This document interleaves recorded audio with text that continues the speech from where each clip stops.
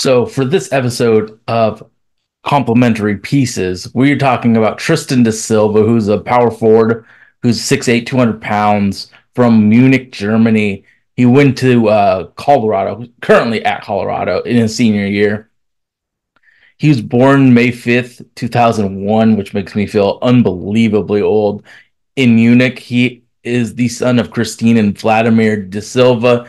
His father was a professional boxer in his native Brazil and has a brother, Oscar da Silva, who was an all Pac 12 forward at Stanford from 2017 to 2021. He went to Colorado in 2020, the 2021 season, averaged two points and one rebound in 24 minutes. He played sparingly in the first half of the season because uh, Jabari Walker, Blazers legend, played. But when he missed six games, Jabari Walker missed six games with a foot injury. da Silva showed that he had the ability to score and then score in a really efficient clip. So in those games, I, I believe he was hitting double digits in all of them. He three he shot 23 for 36 on 63% shoot uh, two point shooting that season, which, you know, a freshman taking advantage of an opportunity, you'd love to see it. His sophomore season, 2021, averaged nine points, three and a half rebounds, and just under two assists a game. Started all 31 games, and the only ones he missed was because he was sick. He was ranked second on the team in field goal shooting per game at 47%, 79% in free throw percentage, third in assist, and fourth in scoring and rebounding. He was ranked 12th overall in field goal percentage of the Pac 12 during the Pac 12 uh, conference play. And most importantly, for him in his future 47% from three. That's huge. Uh, NBA always, you always value shooting over basically anything else. And he's very efficient in his game. He contributes in everything, but he shot really well from three. Um, his junior year, he was an all Pac 12 conference first team selection got 16 points a game under uh, shooting just under 50 from the field. Uh, he run his season ranked uh, 13th of all time in single season scoring with 556 points made. Uh, he made 54 three point shots at a 39.4% clip, led the team in steals, uh, rebounds, was third on the team in the Pac-12 charts. He was sixth in scoring, third in uh, third in three point percentage, ninth in steals, and tenth in overall shooting. So this is his final year, his 2023-2024 season. 15 points a game, five rebounds, two assists, 50, uh, 83% field goal, 38, 36% three point, and a block and a steal and a half a game. So let's let's talk about him as a player. I think you would rank him as like an off-ball four if you were doing like a 2K archetype. He's one of those off-ball fours that uh can spread the floor. I we talked about PJ Hall in last episode, uh, no, two episodes ago on uh, on this podcast, and he also had that ability to be an off-ball guy that can contribute in other ways. Um, so talking about his offense, shooting, Tristan is more than capable, more than capable of knocking down catch and shoot threes, whether it's spotting up, which is stand still, or moving. He has shown the ability to hit those threes. His relocation is really good, and he's one of those guys that let's just say Scoot gets the rebound and scoots down to the three point. He can once Scoot passes it, he can knock, he can hit Tristan with a pass, and Tristan has shown the ability to hit that three in transition. On an NBA roster, Tristan would be asked to spot up on the three and help space the floor for those star players. And I think that he absolutely can do that. But Tristan also can take advantage of the mismatches that come with a superstar player. He's shown the ability to finish against uh, smaller players by just posting them up, getting into the post, and just scoring. And then if you got a taller guy in that mismatch, he he has the ability to get downhill and score in that downhill uh, action. I mean, there there's like plenty of clips of him getting the ball w- straight line cut and then dunking. I think that if you get Tristan da Silva, pick and pop has to be the main thought of how he attacks offensively. I think there is a chance that you can put some put him at a small ball five. Um, he he uh, can screen the guard, give them that advantage to score, and then is com- comfortable just you know in his stance, ready to catch the ball and, and shoot it at a pretty damn good percentage. Or if they close too hard, and this is something that I wish Kris Murray would get good at, is if they close too hard, he has the ability to put the ball down on the floor and make something happen off that aggressive closeout. Um, we're talking about Tristan da Silva, and I think the feel for the game is really, really, really high. But we're one place where I feel like it isn't translated as much as playmaking. He's made really impressive reads, and a lot of them happen to be in the post post playmaker type of role where he's in in the uh, post either uh, face up or backing down, and someone cuts, and he can lead him lead the player that's cutting to the basket. And since they have momentum because they're being led, it's a much better percentage chance that it's going to go in and score. So I feel very comfortable with him having time to pick and choose where he's passing it and allowing him to do that once he earns like all of the coach's respect and the players' respect, I really think that he could pick out the player. He's never, ever, ever, ever going to create the defense reacting to him. And we'll get into that a little bit. But once the defense is broken, he can make the right play. And I, I we're at such a lack of legitimate playmakers. Now, I don't think that he's like, you know, joker with his post playmaking, but I think that he is an above average passer. Um, but I talked about the negatives of him with Colorado. I think he's over. They they give him more responsibility than he probably can can handle in that because he is a four year senior. Cody Williams is young, so he has a pretty decently high usage rate. I think I believe that it currently is over Cody Williams, who's a top five pick in this draft. But when he's trying to dribble drive into playmaking, I think that it's where his playmaking turnovers come from because he's not the most athletic guy in the world and he throws some predictable reads out of the uh, drive game so not being athletic enough to just like confuse them and then having it be predictable, it goes into a lot of uh, potential runouts for the other team. They grab the ball, they go.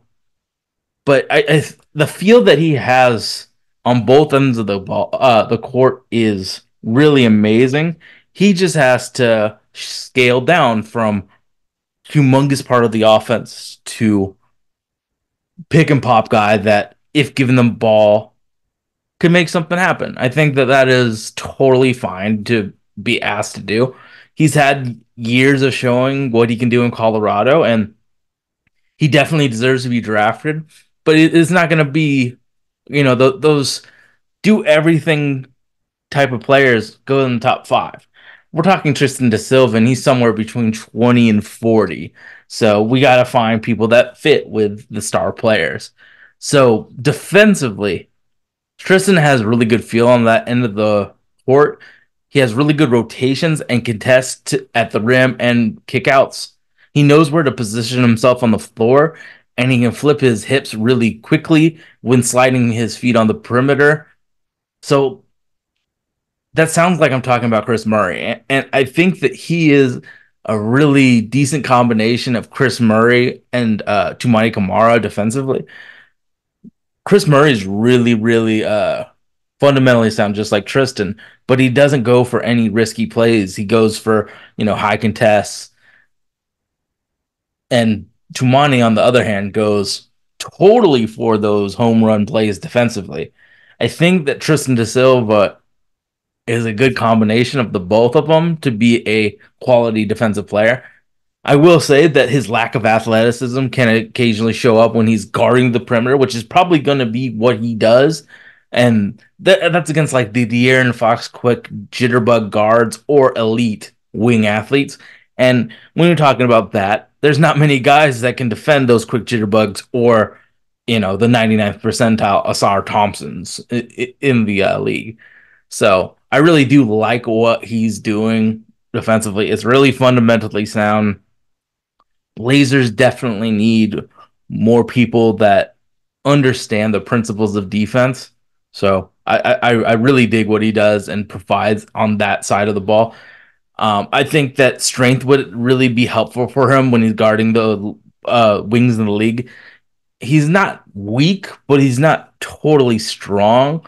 If he gets stronger, there is a pathway for him to be uh, scaling up in position instead of a four. He is a small ball five. I mean, he can shoot, but you know, there's a lot of talent at the big, so it might not be as likely. But I think with added strength, he can be in that role as a small ball five, a stretch five, whatever you want to make about it. I think that he can fill that role. I think Tristan really is a classic production production versus a potential guy his numbers have improved year by year, but there's never that explosion of production. It's just solid improvement. But with solid improvement, and you see it by points per game, by minutes per game, by everything listed in the, those first years, everything has gotten better. So I think that he can scale up to a role in the NBA a little bit easier than a person with just a gigantic, you know, one year, and then he has to scale down you you you saw what he can do in a scaled down version. I think uh, that that will be cool. But him just he knows his role. He knows that he is not the star. He knows that he's not the star in Colorado now. So I don't think there's gonna be any like pullback from him about his role as you know a rotation three four. And this is the first time I'm doing this, and I probably should be doing this more things that I wish he could improve on. If he could add athleticism, that would be the most helpful for him in a long term capacity. But seeing that he's 22, I don't really see an athletic boost, a big athletic boost coming when you're that age. You know, you see it from when you're younger, like the added athleticism. But I, I as I mentioned before, strength would be the second thing that I would uh, suggest for him to improve on. The strength is going to be a factor because he is a little bit of a poor rebounder for his size and for his role. And the Blazers absolutely have dealt with uh, poor rebounding in the past. So we don't want to add poor rebounding on poor rebounding on poor rebounding. So I believe that he can rebound better. Maybe it's a scheme thing. They have Eddie Lampkin who takes up a lot of space, so maybe you know playing in a more spread out offense and defense, he could get more rebounding. But it definitely is something that I'm a little bit worried about. I think the comps are pretty straightforward. It's uh, it's Santi Aldama, it's Fontecchio out of Detroit. I think if he hits, I think Thad Young would be a very nice top end, uh, top end comp for him. So how he helps the uh, Portland Trailblazers specifically, obviously the three point shooting is key here. They don't really have it. I, I, would say when you have Scoot and you have Da and you have either Bari or Toumani playing, you're dealing with three complete non-shooters, so the defense can just sag on them. When you have a guy that can hit three and can hit it from con- multiple different ways, I think it adds and it helps Scoot. You have a buddy for him to set screens and pop out. And Scoot Henderson's very, very polished at driving and kicking. So having someone who's very confident in taking a three, and even if it's contested, making it is really huge for him. I, and I think you can say the same thing with Shaedon Sharpe. These two athletes need to have two feet into the paint. So having somebody that can shoot the three and then make a play for themselves or others using passing is it, it, it, it is a very good fit. And let me look at what Tankathon has him now.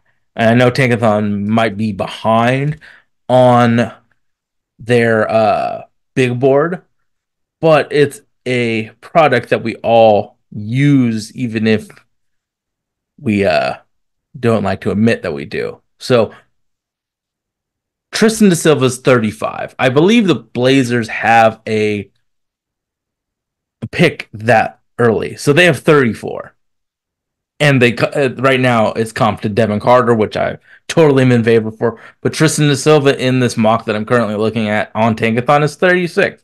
So he's really attainable. We're not talking about a world beater, but we're talking about a player that has a role in the league, who's a winner that plays in a team basketball concept. That's why I'm so uh, impressed by how he plays. He just plays like a winning basketball player.